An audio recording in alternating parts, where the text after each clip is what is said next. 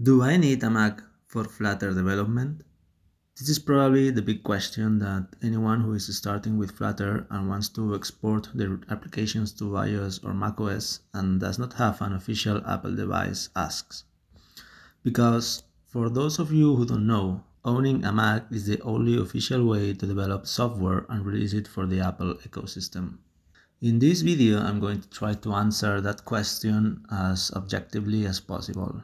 Even though buying Apple hardware is the official way to develop and publish apps for iOS and Mac, there are also some unofficial ways of doing it. All of them have their advantages and disadvantages. You can virtualize Mac OS. You can use a Hackintosh. You could use a cloud service, or you could use a CI/CD system. All of these points are theoretically alternatives to buying a physical Apple device. But are they really safe and efficient ways to develop and publish Flutter apps? I'm going to try to unravel the best and the worst of each one of them. Virtualize Mac OS. This way consists of creating a Mac OS virtual machine. There are several ways to do it in both Windows and Linux. The main advantage of this route is that no prerequisite is necessary other than having hardware that allows virtualization, and this is something that practically any computer today has. In case your PC does not allow it by default, you may have to enable this option in the BIOS.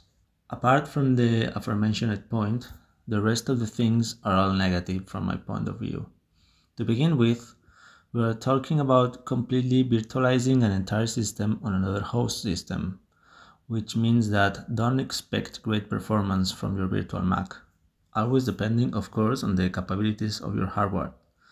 Besides that, I think that it is technically possible to connect and debug on an iPhone. However, in my test, I have never achieved it, and testing the apps we make on real iOS devices is an essential requirement from my point of view if you want to be serious and make sure that everything works fine. Without also mentioning that certain features can only be tested on real devices. As if the previous points weren't bad enough, installing the closed source macOS software on hardware not provided by Apple is against Apple's terms and conditions, exposing anyone who tries to possible penalties or even the total blocking of the Apple account, especially if we try to deploy our application to the App Store from the Xcode of our virtual machine. In short, trying this system has a low cost, but I do not recommend it for all the reasons mentioned. Hackintosh Hackintosh is the name given to the purchase of certain hardware components specially selected for their compatibility with Mac OS and their assembly in the form of a desktop PC or similar for the subsequent installation of Mac OS as a native operating system. There are several websites that offer installation guides as well as hardware guides to find out what components to buy to assemble a computer like this, the most famous being Tony Mac. Unlike the previous point, in this case we are not virtualizing but running the operating system directly, so we will not have the performance problem. In fact, there are internet users who demonstrate how their Hackintosh offers superior performance to official hardware sold by Apple for a fraction of the price. The downside is that this method does have a cost, which is the purchase of all of the hardware components for assembling the computer and there is also the risk of possible incompatibilities or poor system stability, with which it's necessary to know very well what to buy and how to put it all together for an optimal experience. However, the problem of the terms of use still exists.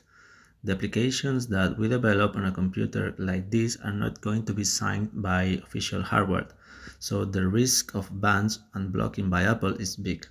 So I cannot recommend this approach. Cloud Mac. This approach consists of using an operating system in the cloud, the best known being Mac in Cloud. For a modest price, we can configure our Mac in the cloud and use it in a conventional way.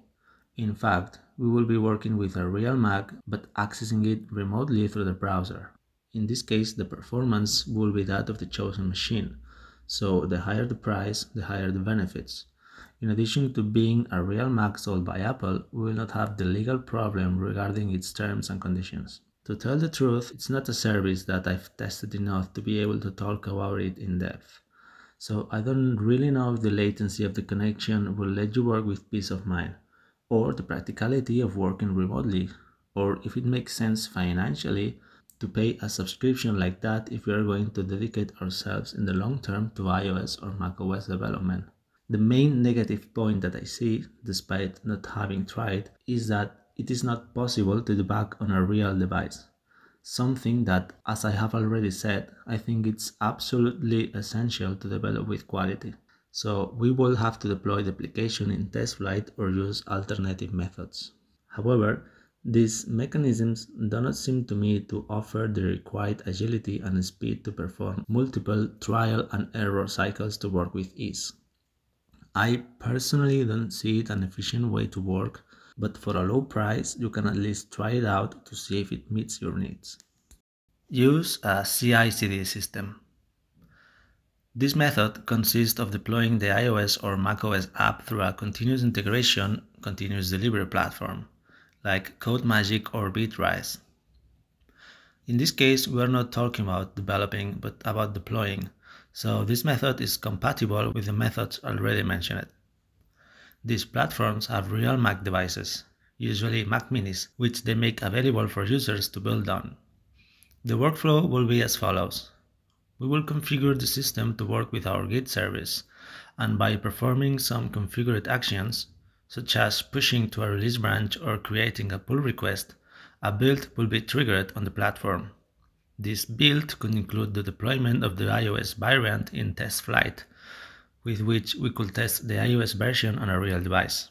The problem with this system is the huge complexity required to test a build with, without first ensuring the version of iOS or macOS. To put us in context, when you develop, you test that everything works well in your local environment. And when everything is fine, the job is launched in the CI/CD system that ideally executes additional tests that you could hardly execute manually in your local system. But in this case, there will be no local testing phase, but directly launching the build in the CI/CD. So if we imagine a typical scenario in which 10, 100 or more test error cycles could be necessary, which in a local system can take anywhere from a few seconds to a few minutes, launching a job in CI/CD for its subsequent approval and deployment in TestFlight could take an hour or more. So imagine that to develop a task, you need to refactor your code 10 times. And each time it takes you 1 minute to do it. In total, it will take you 10 minutes to complete the task. Now imagine that to test each change, you have to trigger a build and have it launch in TestFlight. This can take at least 1 hour, usually more, which will take you 10 hours to finish the task. As you can see, I do not see the viability of this way at all unless it's combined in some way with one of the previous ways. So, after seeing all these methods, do I really need a Mac for Flutter development? To try to give a final conclusion to those of you who are wondering if some of the alternatives to buying an Apple device could be feasible in your path as Flutter developers, I will give you two opinions. If you just want to play without committing to anything, you can try any of the previous ways assuming the associated costs and risks. If, in the other hand, you want to develop with a minimum seriousness and efficiency for iOS or macOS, then you need to have a Mac. It is not really necessary to go to the highest range of MacBooks or iMacs. With the Mac Mini, it is perfectly possible to develop providing a good balance between power and price. I understand that what is stated here is not exactly what many of you want to hear, but from my point of view, that's the way things are right now. Thank you for watching this far. Please give a thumbs up if you find this video useful and consider subscribing for more content related to Flutter and mobile development in general. Goodbye.